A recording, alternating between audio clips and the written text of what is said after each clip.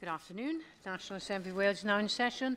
And the first item of questions to First Minister. And question one is Mohammed Ashgar. Thank you, Madam Presiding Officer, and good afternoon. First Minister, what action the Welsh Government taking to promote healthier lifestyle in South Wales East, please? Well, we're focused on ensuring a whole of society approach to improving population health, including supporting healthy lifestyles, protecting communities and addressing the wider determinants of health – such as good employment, quality housing and tackling poverty. Thank you for the reply, Minister. Recent figure produced by the Child Me Measurement Programme Wales reveal that a quarter of children in South Wales East are overweight or obese by the time they start school. Blaena Gwent, Caerphilly and Torwine were all above the Welsh national average of overweight and obese children starting school. What action will the Welsh government take to reverse these truly shocking statistics and to promote healthier lifestyle to parents in South Wales East? Well, in 2010, we launched the All Wales Obesity Pathway, which provides national strategic direction by setting out a tiered approach for the prevention and treatment of obesity from community-based prevention and early intervention to specialist medical and surgical services. John Griffiths. John Griffiths. First Minister, to have a more physically active and healthier Wales, we need key organisations to come together and accept their responsibility. In that light, would you join me in welcoming the work that's taking place in my area, where the Aniron Bevan Health Board, Newport Live, the Leisure Trust, Newport City Council, sports bodies and a range of others are meeting to develop joint strategy and policy for a more physically active and healthier population. Yes, I thank the member for that question. Very much welcome, of course, the uh, cross-cutting work that's being taken forward by those organisations. We know that uh, it isn't simply a case that one organisation by itself can change uh, people's habits and encourage people to do more exercise. But when they come together, of course, uh, then uh, they can have a, a much greater effect. Benji Whittle? Well, Minister, in view of the fact that a report by Public Health Wales stated, and I quote, there is likely to be limited impact in programmes that focus on individual lifestyle behaviour change. How can we uh, justify continuing to spend public money on trying to change people's lifestyle choices when this approach is clearly failing, and many people, not me, uh, regard it as uh, the nanny state interference anyway. And do you believe there should be a greater emphasis on concentrating on children's healthy eating, please? Well, I, I think we, should, we need to uh, emphasise uh, that people can acquire good health or can improve their health at, at any age. I mean, the member's right to say that uh, with regard to children, it's important that children learn good habits uh, young. Uh, but it's also important to ensure that people are encouraged to stop smoking. We know that has an enormous effect on their health, even uh, later on in their, uh, in their lives. I don't see that as nanny statism. I, I see that as uh, something that actively helps people to ditch a habit that actively harms their health. Jeff Cuthbert. Thank you, uh, will the First Minister join with me in applauding the work of Diabetes UK in preparing their book 100 Things I Wish I'd Known About Living with Diabetes. The book is designed to collate real experiences of people with diabetes and the tips that they offer about how they are coping with the condition. Clearly, leading a healthy lifestyle is very important for someone with diabetes and especially avoiding smoking. Yes, I do very much uh, agree uh, that uh, Diabetes UK Cymru are extremely valuable partners. We know their resources have helped many people come to terms with and learn to manage their uh, condition. We do work closely with Diabetes UK uh, Cymru. Uh, they have a seat on the Diabetes Delivery Plan Implementation uh, Group, and of course we look forward to working with them closely in the future. Question two, Mike Hedges. The First Minister make a statement on doctor and nurse training at Swansea University. Yes, Swansea University plays a key role in supporting the NHS in Wales through the provision of a wide range of education and training uh, programmes. Uh, I know that uh, with regard to nurse training places at Swansea, uh, we are now at the, uh, the highest level that we have seen in the course of this government uh, in terms of the nurse training places commissioned. At the moment, that figure stands at uh, 331. Uh, thank you, First Minister. Of course, when the Assembly was created, there were no doctors in, train in, in training at Swansea University. That's only something that's come since the Assembly has been, has been here. Uh, I'm very pleased to note the increase in numbers, and I agree with the First Minister that there's a whole range of other uh, services, such as physiotherapists, etc. But uh, I don't think I'd have got past the presiding officer if I, put, if I listed all of them in the question. So I stuck to doctors and nurses, but I do realise all the others are important. Uh, is this not an example of the Welsh Labour Government supporting supporting the Welsh NHS by having more doctors and more nurses? Absolutely, we have more doctors th than ever. We're increasing the numbers of nurse training uh, places. We note with concern what's happening, of course, with nurse bursaries in England and look for more information from the, uh, the government uh, department there in terms of how that would work as far as Wales is, uh, is concerned. But the Minister did announce an £85 million package to support a range of education and training programmes uh, for healthcare uh, professionals. Uh, and we know that investing in our workforce is the key to the NHS's sustainability in the future. Susie Davis. Uh, diolch, Llywydd. Uh, in view of the falling numbers of GPs and the ageing population of GPs, First Minister, what work has the Welsh Government done to help persuade postgraduate students who've studied at Swansea uh, to consider general practice as a career path? And how would Welsh Government encourage them to take stake in practices of their own? Well, first of all, we, we should avoid thinking that the only way for GPs to practice in the future is, physically, is buying themselves into a practice. That model increasingly uh, is in decline, and more and more GPs wish to be salaried uh, GPs. They are equally as valid, if I can put it that way, as those who wish to buy into a, a practice. What's important, of course, is the service that's available to the, the public. We work very closely with the BMA, of course, to identify uh, any barriers that may exist uh, to recruitment of GPs. Nevertheless, we have 2,000 more GPs than we did uh, 10 years ago, uh, and that shows, of course, that the investment that we have made as a government is bearing fruit. Peter Black. Thank you, Presiding Officer. First Minister, the BMA have written to the Immigration Minister um, to express concern at proposals coming out of the Migration Advisory Committee, which they say will have a devastating impact on the 500 overseas medics who, who um, graduate from UK medical schools each year um, because of the changes to visas which are being proposed by that committee. Can I ask whether you've carried out an evaluation of the impact of the proposals on medical schools in, in Wales and whether you've also made um, representations to the UK government about those proposals? Well, no, no doubt they will be detrimental. There are some who argue that we don't control our borders. Well, I'd say that to those students who uh, aren't coming here because of visa requirements and those doctors who now feel that they cannot stay in Wales as they would have done in years gone by uh, in order to offer their skills to the people of Wales. I often hear the argument that somehow migrants place a burden on the health service. As far as I can see, it's those from overseas countries who actually staff much of the health service, and uh, certainly the health service is reliant and is grateful for the skills that they bring. Uh, but anything, of course, that uh, imposes a barrier on those who wish to use their skills for the benefit of the people of Wales is something that we would oppose. David Rees. First Minister, the £85 million pounds recently announced for training of four healthcare professionals is very much welcome. That includes for nurses, but also other professions, such as radiographers, physiotherapists. And I declare an interest at this point. My wife's a radiographer. Um, but do you agree with me that the investment by the Welsh Government in these actually complements the work of Swansea University? Because Swansea University does an excellent job in training doctors, nurses and paramedics. And will you also look at possibility of expanding the, the provision at Swansea University to include the other professions? Well, certainly something that will be looked at in the future uh, and has, has, has already been pointed out. Uh, at one time, uh, medical training was centred very much on Cardiff. Yes, there, there were the medical students spent the time in hospitals around Wales, but they weren't uh, training centres in the way that Swansea is now. Uh, we know, as I said earlier, that uh, what is important is, in, is uh, investing in the workforce uh, to make sure that the people of Wales have access to the right level of services in the future. We now move to questions to party leaders and first this afternoon, Leader of the Opposition, Andrew Artie Davis. Thank you very much, uh, Presiding Officer. He's got more hair than me. First Minister. First Minister. At the moment, A&E departments and indeed hospitals are under huge pressure, the length and breadth of Wales, but also the length and breadth of the United Kingdom. I, I take that point.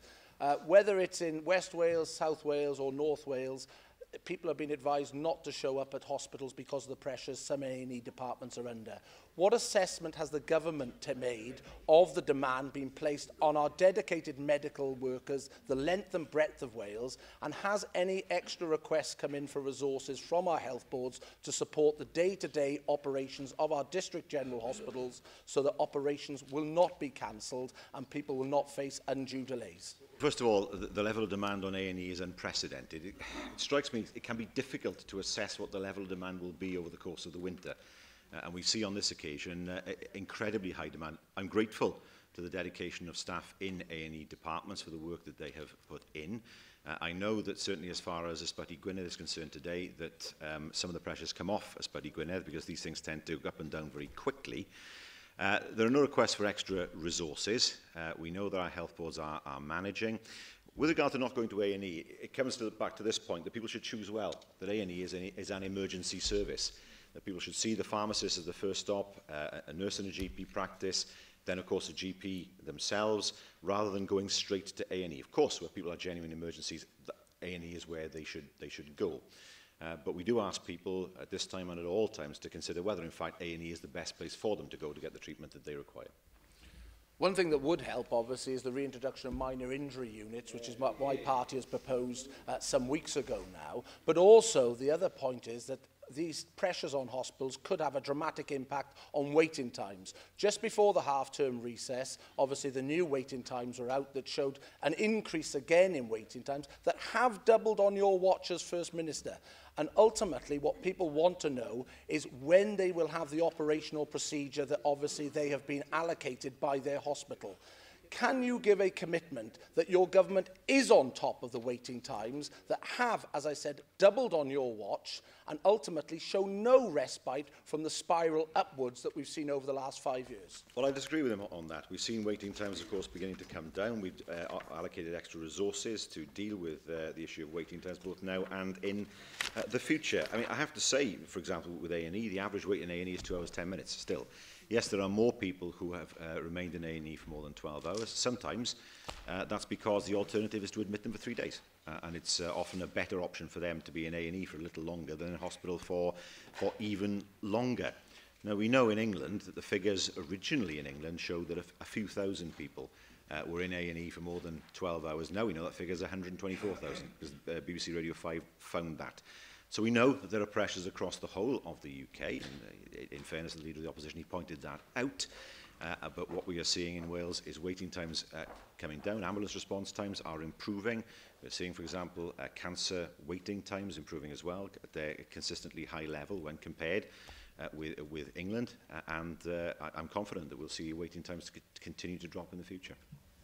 Well, well, sadly, on cancer wait times, they're not improving, First Minister. The most recent cancer wait times in my own electoral area show a, a substantial decrease down to 78% of referral times when your target is 95%. But in a leaflet that you put out in 2007, you gave a commitment that ultimately a Labour government, if elected, would deliver shorter waiting times within our NHS. That was nearly 10 years ago. At your conference this week, you were talking you're only halfway through your decade of delivery. Well, your decade of delivery has delivered one in seven people on a waiting list in Wales. That's nearly 15% of the population on a waiting list here in Wales. Also, with your pledges, you haven't committed to protecting the NHS budget. How on earth can anyone have any confidence that you will be able to get to on top of the waiting time lists that are spiralling out of control under your leadership which is the day-to-day -day effect of patients and clinicians, the length and breadth of Wales, that they're not getting the service that they need. Yeah.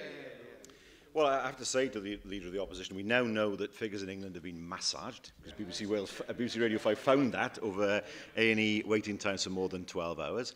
We see a record amount of money going into the Welsh NHS, some 46% of our budget. We spend 1% more per head on health in Wales and England does, 7% more on health and social care. Only today, we see the LGA in England saying that social care is on the verge of collapse in England because there's not enough money going into social care.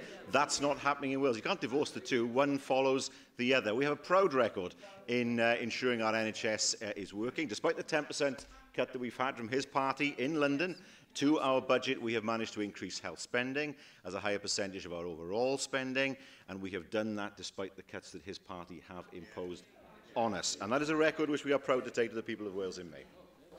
We now move to Leader of Plaid Cymru, Liam Wood. Diolch Llywydd. First Minister, you said recently in response to the GP recruitment crisis in the North, there will be issues from time to time where a GP decides to stop but then that service is carried on by salaried GPs. From our point of view, I don't think there is a crisis. Do you accept that this response was dismissive to people's concerns? And do you regret not being more sympathetic to patients who are experiencing problems as a result of the GP recruitment crisis in the north? I have to say, uh, I'm not aware of uh, patients suffering as a result of a, a lack of GPs in the north. Uh, the uh, question she asked me was over some practices which had decided not to continue as practices. Their services are being covered by salary GPs. As far as the public are concerned, the service will remain the same. Well, First Minister, that sounds like you're in denial as to the extent of the problem. The Secretary of the North Wales Local Medical Committee believes that urgent action is needed for the out-of-hours out of hours service in the North. The Vice-Chair of the North Wales Local Medical Committees has said the situation is at breaking point. Will you now concede that there is a recruitment crisis yeah. and will you agree that patients deserve better? Yeah. Well, I accept there's a challenge to recruit GPs in some parts of Wales. That much is, is true, and there are various reasons for that that aren't to do with, with medicine, actually, to, to do with the opportunities available for their, for their families. Nevertheless, we do work with the BMA, as I've said, to identify, as I said earlier on, any barriers that might exist to, uh, to recruitment. We do have 2,000 more GPs in Wales than, than was the case certainly a decade ago, and that is something that we're uh, looking to build on in the future. First Minister, Wales has fewer doctors per head of the population than all but three EU countries. You don't seem to be accepting of that fact. Is it acceptable to you, First Minister, that people are lying on the floors of emergency departments waiting to be seen? Is it acceptable to you that GPs are withdrawing their contracts? Is it acceptable to you that all but emergency cases have been turned away from a GP practice? You tell us that you are halfway through a decade of delivery, First Minister, under your stewardship. If you get a chance to see it through, what kind of NHS will we be left with at the end of your tenure? Well, we'll be left with an NHS where more is spent per head than in England, where more money has been allocated, where more money is going to mental health. It's one of the questions that she's asked me in the past, substantially more money into child and adolescent mental, uh, uh health care. We will see Wales where there is a new treatments fund for uh, life-threatening illnesses. We will see investment. We will see investment into NHS buildings. We will see further examples, for example, as we've seen in Morriston, of a brand new uh, front to the building, a, a fantastic a fantastic extension of the building. It makes it much easier for people uh, to go through A&E, much easier for people to see uh, doctors. That is what we will see. Good facilities for the people of Wales, paid for out of the public purse, without privatisation, not her party's policy, I know that, but without privatisation, delivered free at the point of need for our people. We now move to the Leader of the Welsh. Hmm. Order? Gracious me. We now move to lead the Welsh Liberal Democrats, Kirsty Williams. Thank you very much, Presiding Officer. First Minister, last year, following a ministerial resignation and questions raised about the operation of the ministerial code, you told the Assembly that you would be willing to ponder further potential changes to investigations under that code. Uh, could you give us an update on your pondering? Well, I, I have to say I've, I've pondered this issue, as she, she puts it, but uh, I do not see the need for there being some kind of independent adjudication process, and of course that doesn't exist in London either. Well, uh, I'm sorry your pondering hasn't come to a more positive uh, conclusion, First Minister. At the same time, uh, I said that it's perfectly appropriate, and indeed government should take outside advice, but that outside advice should also be transparent. When I asked you to publish details of meetings between ministers with lobbyists and pressure groups, you replied, there are none. It's not our policy to meet with lobbyists, but freedom of information requests revealed that you personally have met with external organisations 144 times since May of last year. Now, I assume, I assume you weren't just passing the time of day and drinking tea, Will you commit to creating an accessible register of all meetings between Welsh Government ministers and non-government organisations to be made available on the Welsh Government website? These are not lobbyists. These are organisations I've met while I've been out and around Wales, uh, businesses, organisations that I've met uh, in here in Cardiff. Uh, they're not lobbyists. We do not meet with professional lobbying companies or organisations. That is our policy, and no such meetings ever take place. First Minister, as I said, when you meet these organisations, whatever you uh, decide to define them as, you're not just passing the time of day. Uh, no doubt they're taking the opportunity to try and influence the government's thinking, and that is perfectly acceptable. I'm asking that you make that accessible to the people of Wales so that they know who you're meeting with and what you're talking about. But can I turn to a third measure of transparency and how we do our politics here in Wales? Under current rules, the chairs of Assembly committees are appointed by party leaders. Now, this is a system of patronage and control so discredited yeah. that they don't even do that in Westminster anymore. Uh, can you think of a single good reason why these posts should not be elected by the whole of the Assembly rather than being in the gist of party leaders? And would you support such a change? Order. I, I don't know option in her party, but the committee chairs Order. in my party are not within the gift of me as leader. They're elected by the entire group and not appointed by me, and that's the way it should be. Uh, the last thing that, that should, well, the last thing that should happen is that party leaders appoint committee chairs and, and remove them on a whim. I leave that to other parties, but it doesn't happen in my party. There has to be an element of uh, it has to be an element of independence when it comes to scrutiny committees. When it comes to Order. Order. Uh, sorry. When it, well, uh, the Leader of the Opposition is most vocal. He, of course, has sacked the committee chair, so I suppose he would know more than I do about this, because I know, it, I understand within his party it is the leader. It is the leader that appoints the chairs. It's a level of control, uh, that control freakery, indeed, that we don't exhibit uh, on these benches. In terms of the, the suggestion Order. that she made, in terms of the suggestion that she made, it's an interesting idea. and it is something I think that's worth exploring in the next Assembly. Hopefully now move to a quieter session and we'll have uh, question three from Darren Miller. Will the First Minister make a statement on support for coastal communities in Wales? Yes, our uh, flagship regeneration programme, Vibrant and Viable Places, has uh, seen local authorities sharing over £100 million of capital funding for regeneration schemes. Uh, that funding has been invested across Wales, including coastal communities. For example, £12 million has been provided to Colwyn Bay and £7 million to Holyhead. Uh, First Minister, you'll be aware that tourism is crucially important to the coastal economy, including in my own constituency in places like Colwyn Bay and indeed Towin and Kinmel Bay uh, as well. But one of the things which may put the tourism industry at risk is the potential move to four weekly bin collections uh, in my local authority area, which could see uh, and increase in fly tipping, litter and the pests which may uh, result uh, as a result of that. What action will you take to ensure that local authorities are responsible in the way that they manage their, uh, week, their uh, waste collection services so that these sorts of unintended consequences don't arise and don't cause a problem for tourism?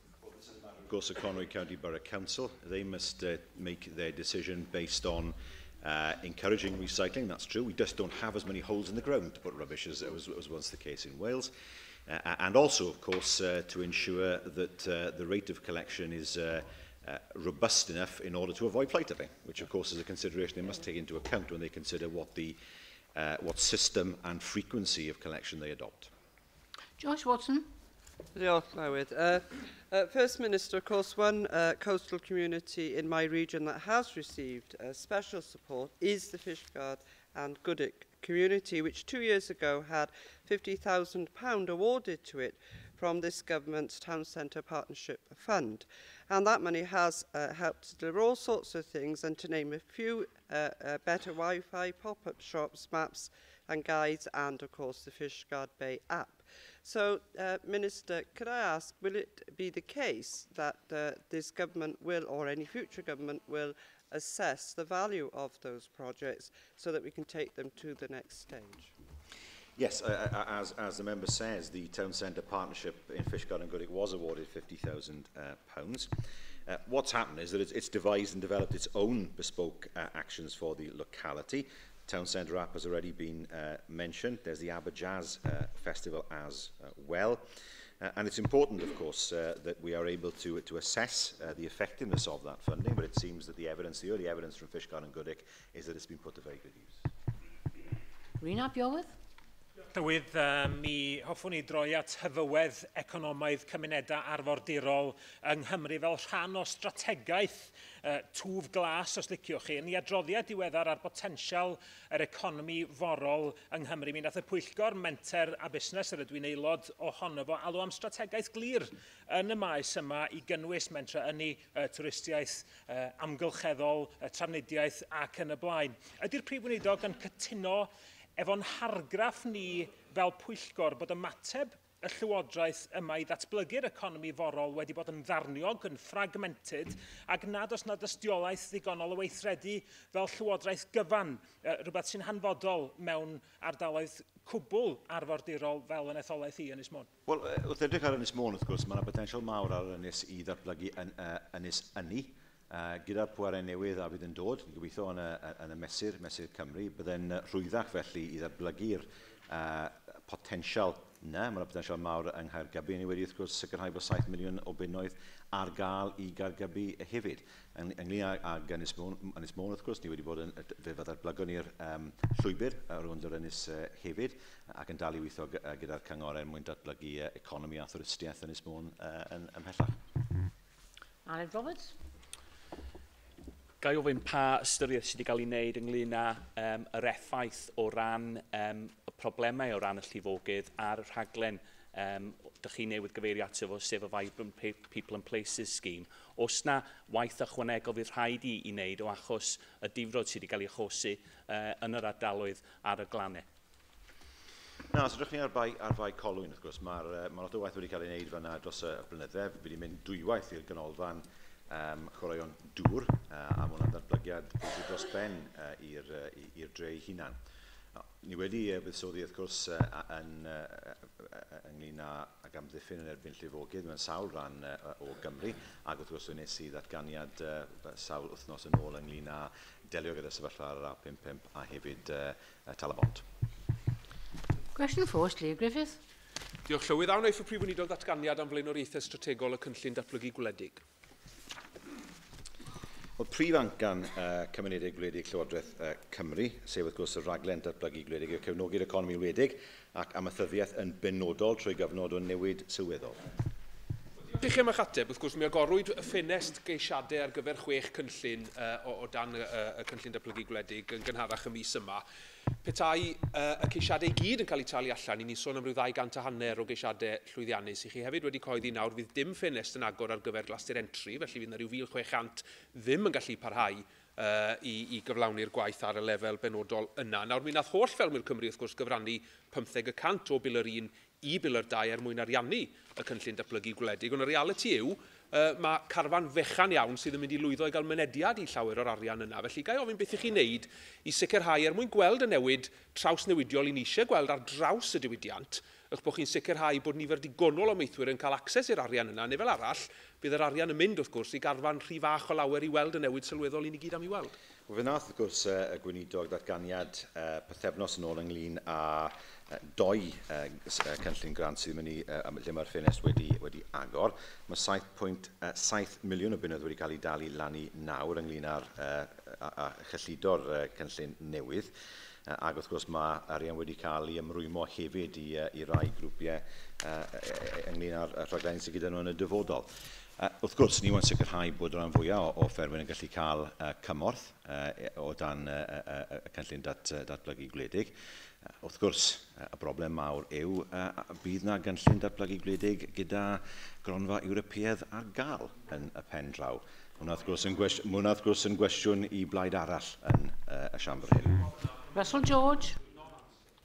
Uh, First Minister, you will be aware that the Sustainable uh, Production Grant has a minimum spend of £40,000, with 40% of this then eligible to be funded. Now, in this current farming uh, climate, I'm sure you will be, agree it's very uh, difficult for farmers to commit uh, to such significant investment.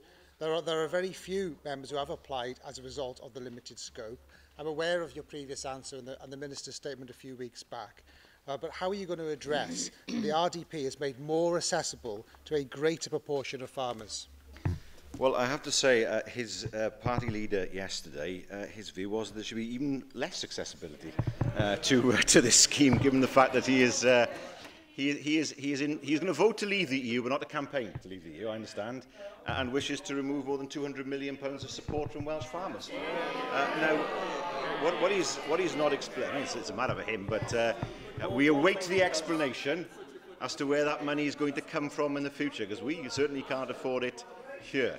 Uh, from our point of view, we will continue to support Welsh farming, we will continue to access European funds, Welsh Labour will stand up for Welsh farmers as the Welsh Tories sell them down the river. William Powell. Diolch, Llywydd. First Minister, as you've just said, uh, the decision by the Leader of the Opposition yesterday to oppose uh, British membership of the European Union breaches the very consensus that has taken place within this chamber over the past 17 years. In that period, the Rural Development Plan over three consecutive periods has delivered over £100 million pounds of investment into rural communities in Wales. In that context, First Minister, and given the danger of other wild-eyed zealots heading for the cliffs also, would it, would it not be prudent for this Welsh Government Would it not be prudent for this Welsh Government to ramp up the conversation with rural communities across Wales so that there is a fuller understanding of what is at stake in the months to come? Oh, I, I, I, I, I recognise the passion that, that the member has displayed over what is the most important constitutional issue we will face this year. Uh, and Welsh farmers will note that apparently one of their own believes that uh, their subsidies should be put in, in jeopardy. I mean, the, he will have the chance to explain himself, I know, and he said he will. But the question for us is this. Welsh farming receives more than 200 million pounds worth of direct subsidy every year. Where is that money going to come from in the future? Where is it going to come from in the future? It cannot come from Welsh Government. It's, it's too much money for us to be able to afford.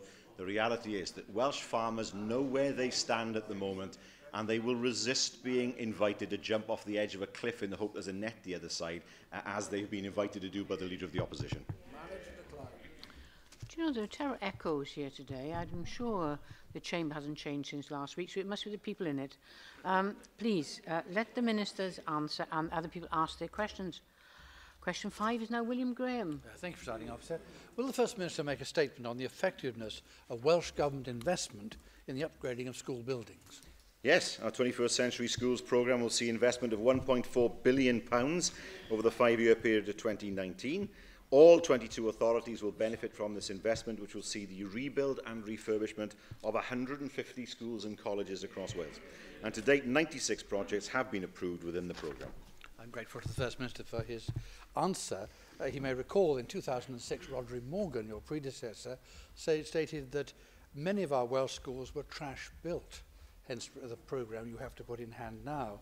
But your funding is reduced from 50% to 30% of that funding and gives rise to situations as happened with Dufferin High School in Newport. You will know there that the, the possibility still is to have a Welsh medium school on the same site, releasing some funds to do up the school. And yet the NRW sabotaged that application at the very latest uh, part of the consultation. Can that be avoided in the future? Well, it's a matter for the, uh, uh, for the Council, of course, uh, what happens in terms of planning. Uh, just to make it absolutely clear, as the member knows, that the issue of the refurbishment of Dufferin and the building of a new Welsh medium uh, comprehensive school are not issues of, of finance. The money's there. Uh, it was an issue where a planning application was rejected. I understand that there will be a fresh planning application, and then, of course, it's a matter for the council to, uh, to decide. But the money is there uh, to refurbish the schools through our programme, and there are some planning issues clearly that do need to be resolved. Leniho?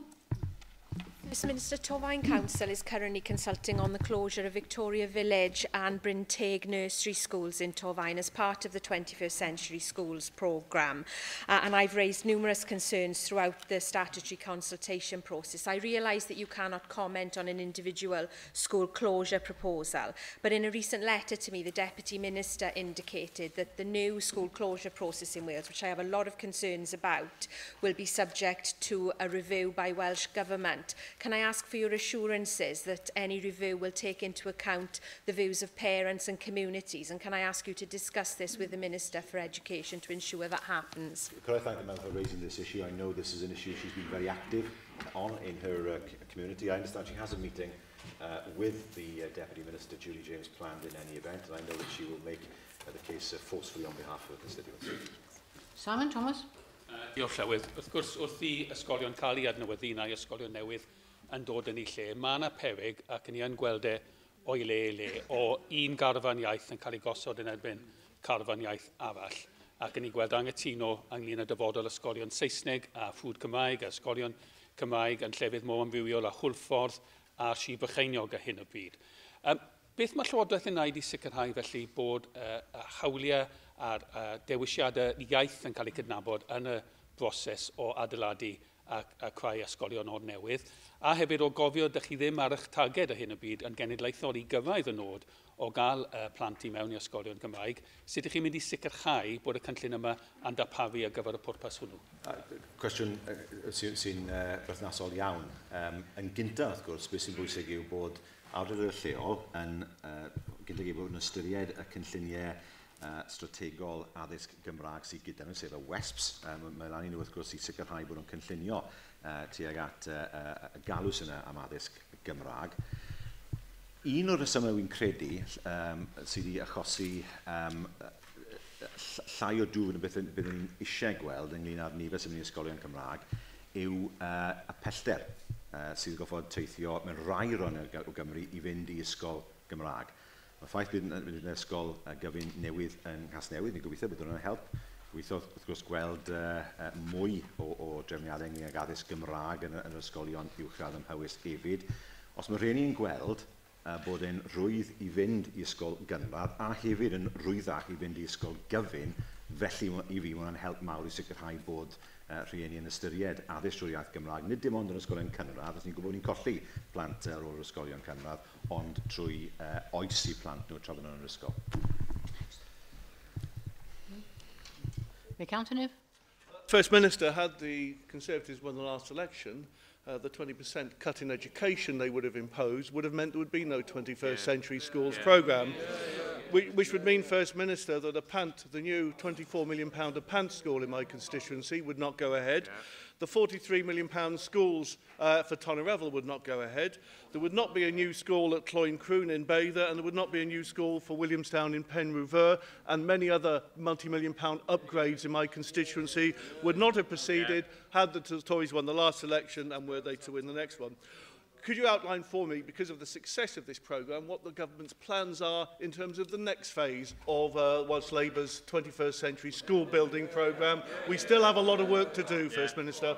Well, the member is, is correct to point to all the new schools that have been built in his uh, constituency, and we will continue uh, with our programme to make sure we, we replace schools across Wales and refurbish schools where that refurbishment is needed. Remind the party opposite, one of the first things that they did when they went into government in London was to slash the school building yeah, yeah. Uh, to an extent that, that almost nothing is now happening in England. We will not do that to, to uh, children in Wales. And I, I remember before the last uh, Assembly election. And in fairness, it was, it was a different leader they had then, but he appeared live on Wales Today saying that there would be a 20% cut in education. Yeah. Since the election, the party opposite has said, no, no, it's not 20%, it's 12%. Mm. Oh. And now they're saying, well, that figure's out of date, but we haven't crunched the numbers yet in the, in the exact words of the uh, leader of the opposition. The people of Wales would be delighted to know what the scale of the cut is that the party opposite the Conservative Party actually proposes. Robert. Prif Weinidog, un o'r heriau eraill sy'n gwynebu unrhyw lywodraeth i wella cyflwr ysgolion ni ydy presenoldeb asbestos. Um, gai ofyn i chi felly, mae'n amlwg bod yna weithgor arbennig wedi cael ei sefydlu yn Lloegr gan yr Adran Addysg sydd yn delio efo hyn, ond maen nhw wedi bod yn hollol glir yn deud gynnyn nhw gyfrifoldeb ond tu a Lloegr. Felly, gai ofyn i chi wrth gofio bod y gweithgor yna yn cynnwys aelodau o undebau llafur arbenigwyr penodol uh, os na le i ni edrych ar gweithgor tebyg yng Nghymru, neu fysych chi'n barod i ofyn am gynrychiolaeth o Gymru ar y gweithgor yn Llundain? Wel, wrth gwrs, yr, yr HSC sydd yn gyfrifol ynglyn â sicrhau bod ysgolion yn saff, mae yna ganllawiaeth ni wedi rhoi allan uh, i um, rhywna sydd, wel, rhywna sydd, uh, perchnogion sydd â dyletswydd, duty holders yn, yn Saesneg, er, nhw, er mwyn bod nhw'n gwybod yn gwmwys beth i wedi dyletswydd uh, nhw. Uh, ag wrth gwrs, bod nhw'n gwybod beth yw i dylswyddau o dan um, y rheoliadau uh, iechyd a diogelwch. Uh, mae yna grŵp gweithredu wedi cael ei sefydlu er mwyn sicrhau bod ein callawiaeth ni uh, yn, uh, yn gallawiaeth sydd yn, sydd yn briodol uh, i'r dyfodol a hefyd i uh, adolygu um, polisi a challawiaeth yng Nghymru. Uh, question six is Anne Jones. What assessment has the First Minister made of the recent OECD report on the review of healthcare quality in the UK? Well, I mean, this highly respected international body found quality at the heart of the Welsh health system and that we prioritise high quality and patient-centred care. And the definitive report does finally put to rest the claims that a particular health service in one part of the UK is better than the others. Uh, well, thank you very much for that assessment. And I, I'm, um, I believe as well that the OECD report went in very, very deeply into the new primary care situation that is developing in, in my own constituency following the, the funding model of, of uh, GP surgeries um, finally sort of showing up that uh, when, when they want to give in, they can, give, they can retire and leave, it, leave their, their patient list there. The primary care centre that we're going to have uh, to replace uh, two surgeries in, in prostatin, I think is, is noted within the OECD report as the model to take forward primary care. And I know you will agree with me that it's time that the UK government actually looked over this border with envy at the way in which we actually negotiate and we actually um, value all our working staff in the NHS. And it's about time that Cameron and Hunt actually conceded to your request that they should apologise profoundly and profusely for the damage that they have done to the dedicated, hard-working members of our Welsh NHS. Well, well, here we have the independent evidence uh, that shows uh, that the claims made by the Prime Minister were, were, were fallacious. It's, uh, it's, it's as simple as that. And yes, you've heard my uh, request that he should apologise. He hasn't done it yet. But one thing I can promise uh, the people of Wales is that we're not going to import the Tories junior doctor strike into Wales. Uh, we will treat our medical staff with respect. We will talk to them rather than force contracts on them. Darren Miller. presiding officer, we'll get back to the reality, shall we? The fact is that the OECD did not consider waiting times for diagnostic tests and they did not consider either waiting times for treatment. And the facts are First Minister, that if you live in Wales, you are more likely to be on a waiting list, you're more likely to wait longer for your diagnostic test, you're more likely to wait longer for your diagnostic treatment. It is a disgusting record for your government uh, to have. Absolutely shameful. Why is it that people wait longer for their heart bypass operations? Why is it that people wait long for their cataract operations, their hernia operations, and their hip operations, up to almost three times as long if you live in Wales when compared to England. That is unacceptable. Those are the facts. That's your record. He always gets high-pitched when he's desperate. I don't notice that about, him, about the member Defend for, it. uh, Come for on, let's West. I mean, let me, let me remind him. Darren Miller. There is no need to shout in this chamber, particularly when you're sitting down. And that's including you, Andrew Archie Davis. Please, please, just stop. First Minister. well, uh, Llywyd, I suppose, makes a difference from the shouting at each other, which is what we've seen in the past few days. But, uh, the, the reality of the situation is this. This is what the OECD report actually said. Quality is at the heart of the Welsh health system. The importance of high quality and patient-centred care is given a high level of priority. Continuously improving the quality of care is a deeply established and widely shared commitment to the Welsh health system. A clear effort has been made in Wales to use patient concerns and complaints to improve quality of care. Wales is ahead on securely linking individuals' health and social care data and is actively using some quality indicators. The commitment by staff and the public to the values of the NHS in Wales seems strong. A good range of health system information, including on quality, is systematically collected in Wales. J Darren Miller, will you listen to the answer? First Minister. The introduction of a three-year planning cycle for the Welsh NHS is a step forward from yearly budget cycles. The creation of primary care clusters has the potential to be an important resource in Wales. Wales has a rich quality monitoring and improvement architecture. The Thousand Lives campaign has been a successful way of fostering a culture of quality improvement. The Wales Surgical Materials Testing Laboratory is an interesting model for other OECD countries. I could go on. We spend more on health in Wales per head than England does, and that's why the party opposite is so desperate and through with their comments. Eleanor Parrott.